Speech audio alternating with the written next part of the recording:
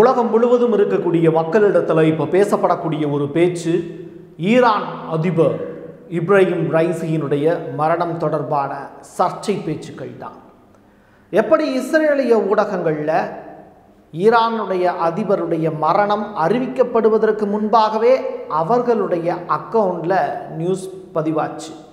இந்த கேள்விகள் உலகம் முழுவதும் பேசுபொருளாக மாறியிருக்கு. அதற்கான பதில் என்ன? ரஷ்ய அதிபர் புட்டின் வருகின்ற வியாழக்கிழமை ஈரான் செல்கிறார். எதற்காக இந்த பயணம்? ஏகப்பட்ட மாற்றங்கள் மிடில் ஈஸ்ட் பகுதியில் நடந்திருக்கு. எல்லாத்தையும் கடந்து அமெரிக்க அதிகாரிகள் இரண்டு பேர் ஈரானில் முகாமிட்டிருக்காங்க. அவங்க அங்கே எதற்காக போயிருக்காங்க அப்படிங்கிற மாதிரியான விடயங்கள். இது தற்செயலாக நடந்த நிகழ்வல்ல. திட்டமிட்ட சதிச்செயல் அப்படிங்கிறதுக்கான ப்ரூஃபோட ஆரம்பிக்க போகுது இந்த வீடியோ வாங்க பார்க்கலாம் உறவுகளே இது பிரசாத் சிக்னேச்சர்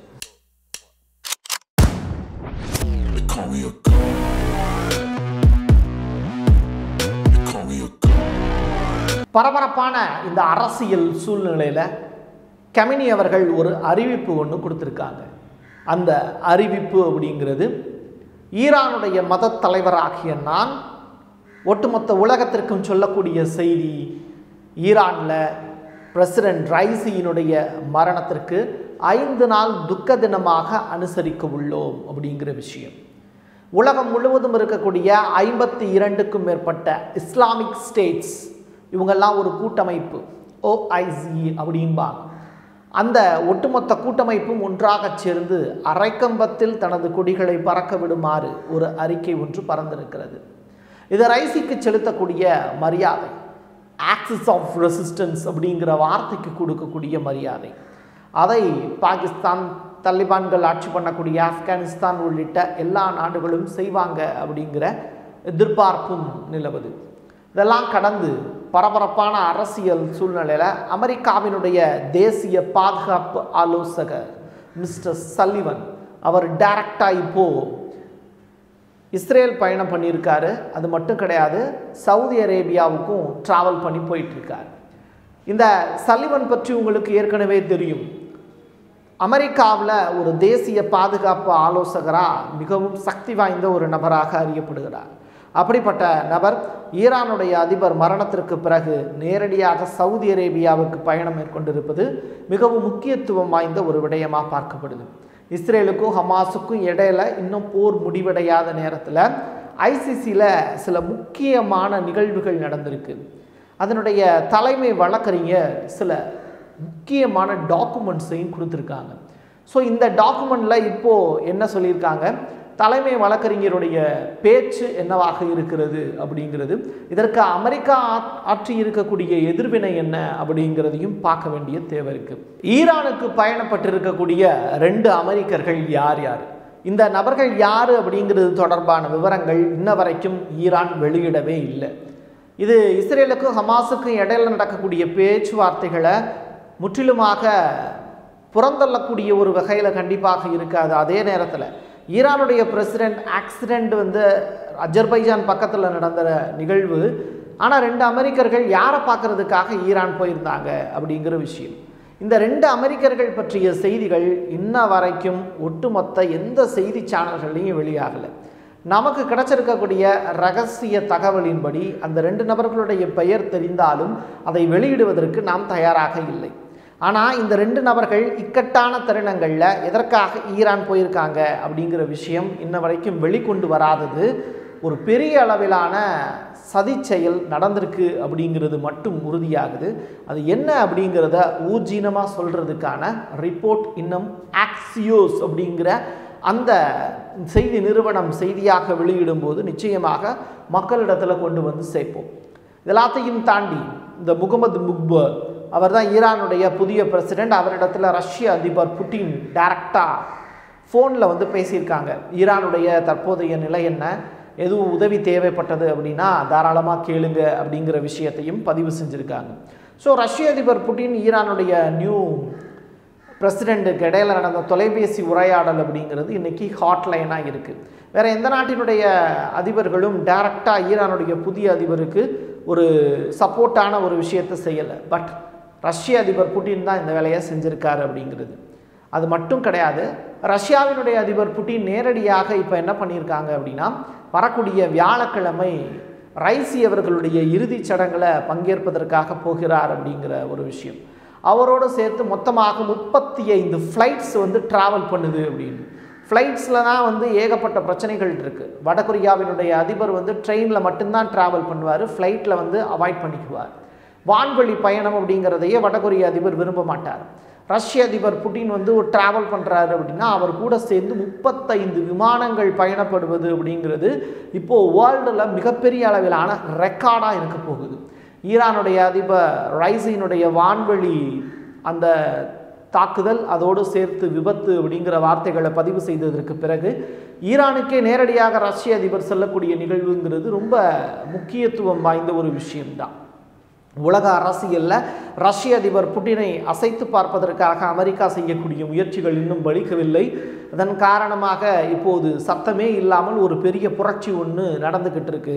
அது ஈரானில் ரஷ்ய அதிபர் புட்டின் காலடி எடுத்து வைக்கக்கூடிய அந்த நாளில் பெரிய அளவிலான மாற்றங்களும் நிகழ்வதற்கான வாய்ப்பு இருக்குது இன்னொரு புறம் என்னென்ன அப்படின்னா international criminal court of justice அதில் ஐசிசியினுடைய தலைமை வழக்கறிஞர் முன்வைத்திருக்கக்கூடிய வாதங்கள் தான். கான் அவர் பேர். அவர் சொல்லியிருக்கக்கூடிய விஷயங்கள். இன்டர்வியூவாகவே கொடுத்துருந்தாரு.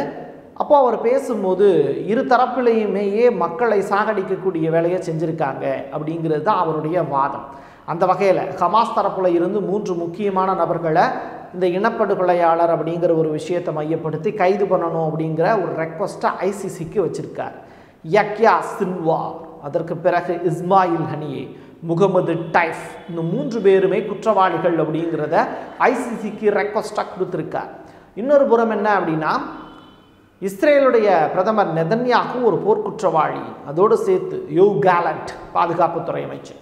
அவரும் வந்து ஒரு குற்றவாளி தான். அவங்க ரெண்டு பேரையுமே கைது வாரண்ட் பிறப்பிக்கணும் அப்படிங்கிறதையும் ஐசிசிக்கு ரெக்வஸ்டாக கொடுத்துருக்கார்.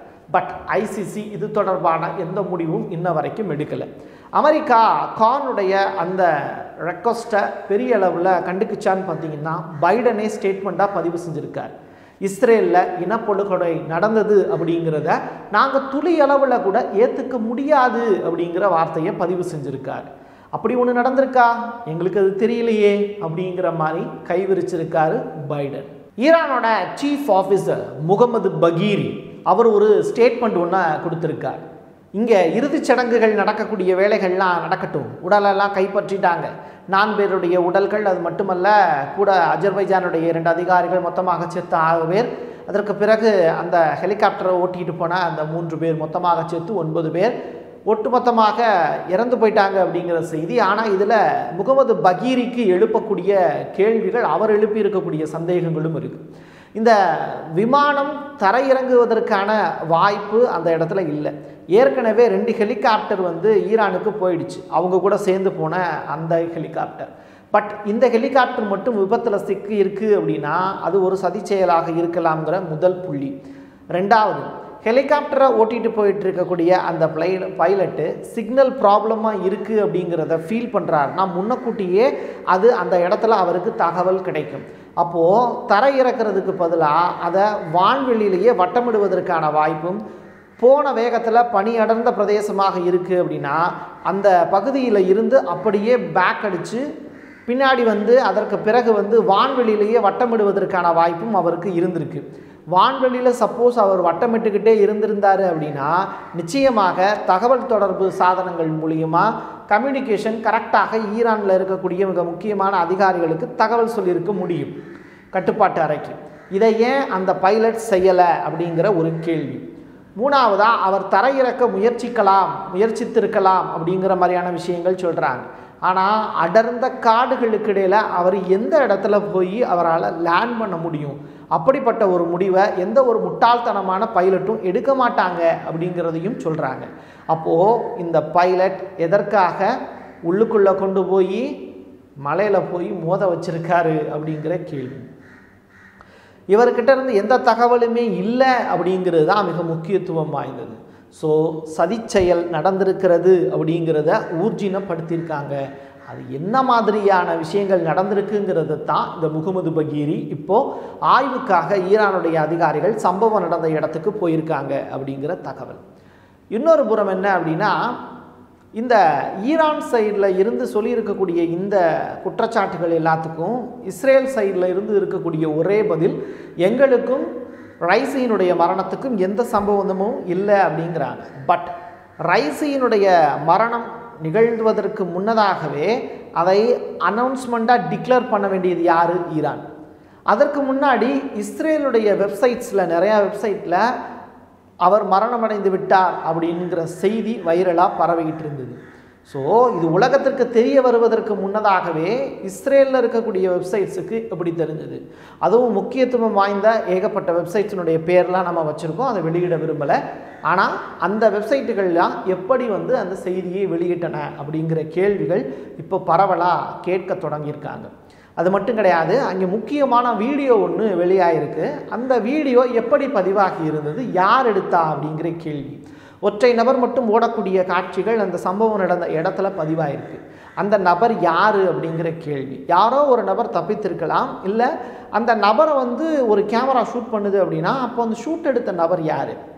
இப்படிப்பட்ட கேள்விகள் இருக்குல்ல அந்த கேள்விகளுக்கான விடை தெரியாமல் தான் ஈரான் அதை தேடி அடுத்து துப்பு துலங்க போகிறது அப்படிங்கிற செய்தியும் வைரலாக சுத்திக்கிட்டு இருக்கு.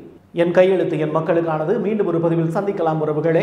நன்றி வணக்கம். நிறைய நல்ல தரமான வீடியோக்களை பார்க்கறதுக்கும் அதே மாதிரி செய்திகளினுடைய ஆழம் சென்று தெரிஞ்சுக்கிறதுக்கும் வரலாற்றை பேசுறதுக்கும் கேட்கறதுக்கும் எல்லாத்துக்குமா இருக்கக்கூடிய பிரசாத் சிக்னேச்சர் சேனலை உடனடியாக லைக் பண்ணுங்க ஷேர் பண்ணுங்க கமெண்ட் பண்ணுங்க. மறக்காம சப்ஸ்கிரைப் பண்ணி பெல் ஐக்கானை கிளிக் பண்ணிருங்க.